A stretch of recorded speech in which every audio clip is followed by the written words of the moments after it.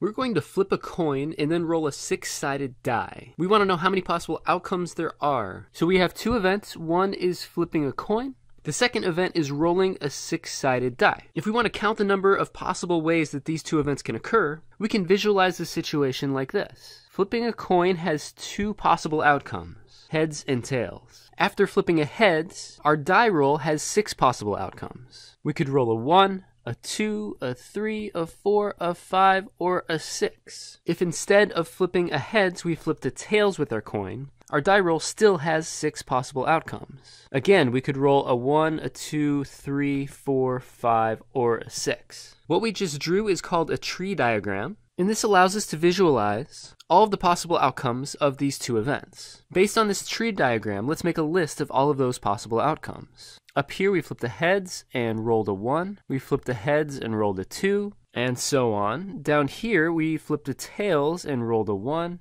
We flipped the tails and rolled a 2, and so on. Now, all of these possible outcomes of these two events is called our sample space. And a sample space is often written out as a set, just like this and each element in our sample space is called a point in that sample space. Now to answer the actual question, you'll notice that if we count up all of the points in the sample space, we have 12 possibilities for these two events. Now, you might be noticing that the first event had two possible outcomes, and the second event had six possible outcomes. It is not a coincidence that 2 times 6 gave us 12, the total number of possible outcomes for these two events. In fact, this is what we call the counting principle which says that if the first experiment has m outcomes, that was our coin flip with two outcomes, and the second experiment has n outcomes, that was the die roll with six outcomes, then the two experiments combined have m times n outcomes. In our example, that's 2 times 6 equals 12 outcomes. Now, the point of these tree diagrams was to convince you that this counting principle makes sense, and to give you a way to visualize that counting principle. If you feel like you understand the counting principle, then we're ready to do a few more examples. First, let's say that we are selecting two months at random. How many ways can those months be selected if they're selected with replacement? Well, what we have here are two experiments or two events happening. The first event is selecting our first month, and the second event is selecting our second month. The question is, how many ways can we do this? So using our counting principle, we're going to multiply the number of ways that we can select a month times the number of ways that we can select the second month. Well, how many different months do we have to choose from?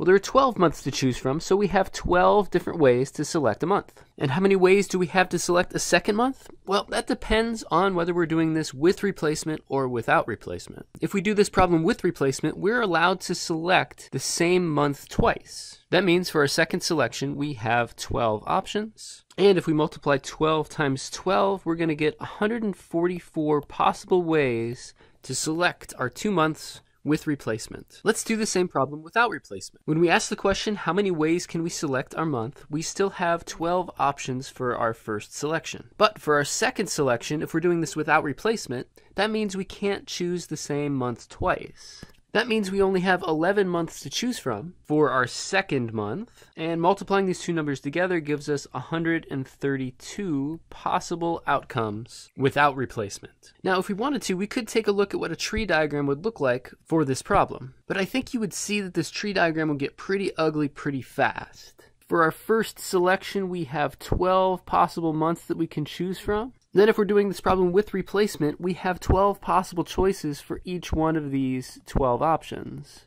And if we were doing this problem without replacement, each one of these green sets of branches would just have 11 options. Let's try another example. A bag has one green ball, one orange ball, one red ball, and one yellow ball. We select two balls from the bag without replacement. How many points are in this sample space? We can use the counting principle to do this. The number of possible outcomes for selecting two of these balls from the bag without replacement is the number of possible ways we can select the first ball, which is one, two, three, four, times the number of possible ways we can select the second ball. Since this second selection is happening without replacement, that means we can't select the same ball twice. Therefore, after selecting the first ball, we have three remaining options. So there are a total of 12 points in our sample space. Let's draw a tree diagram to visualize this sample space. Our first selection has four possible outcomes. If we select the green ball first, then the number of options we have for our second selection is three. We have the orange option, we have the red ball left, and we have the yellow ball left. If we select the orange ball first, then there are three possibilities for our second selection green, red, and yellow. Continuing this chart gives us this is our completed tree diagram, and I'm going to write out the sample space from this.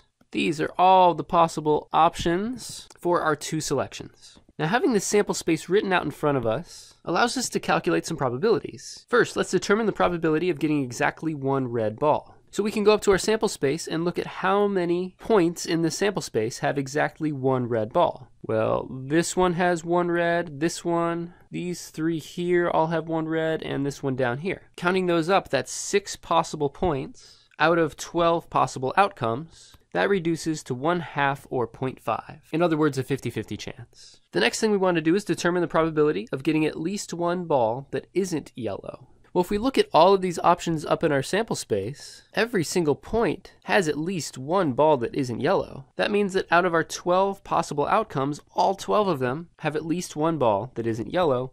That gives us a probability of 1 or a 100% chance that we'll get at least one non-yellow ball. I'm going to move this sample space down to here so that we can keep looking at it. The last problem is to determine the probability of selecting no orange ball. So we're looking for the number of points in the sample space that don't have orange in them. That one, that one, this one, this one, and these two down here don't have an orange ball being selected. That looks like six possible out of 12 possible outcomes. That's a probability of one half. I want to get a little bit more practice and we have one more new concept to introduce. So let's do that with this last example. You're going to take one science, one English, and one math class and your choices are listed here. How many points are going to be in this sample space? Well, how many options do you have for science classes? It looks like you have four possible options for science classes. You then have two possible options for English classes and two possible options for math classes. Multiply those together and you get 16 total possible schedules that you could come up with. Let's see if we can squeeze a tree diagram in here. First, we're going to select one of our four science options. Then we're going to select one of two English options. Finally, we're selecting one of two math options. So we did squeeze that in there a bit. Let's take a look at the sample space. Reading from the top to the bottom, it looks like we have these 16 options in our sample space. I think BLT is my favorite. But now that we have that, we can start doing some probability problems.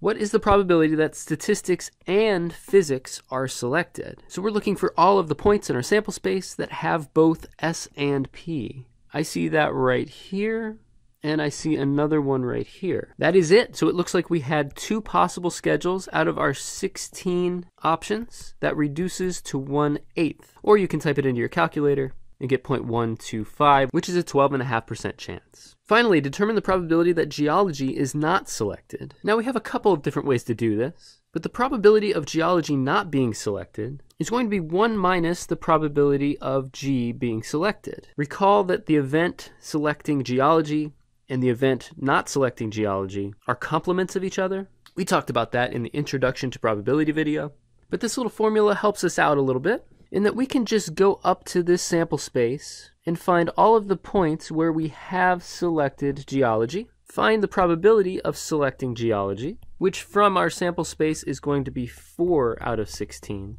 And we can take that result and subtract it from 1 to get 0.75 as our probability. You could also call that 3 fourths. And what that means is there's a 75% chance that we are not going to select geology, which I think makes sense because we had four possible options for our science classes up here. Well, okay, I think we're going to call it good for that video. Check out the homework for this section, send me emails if you have questions, and I'll see you next time.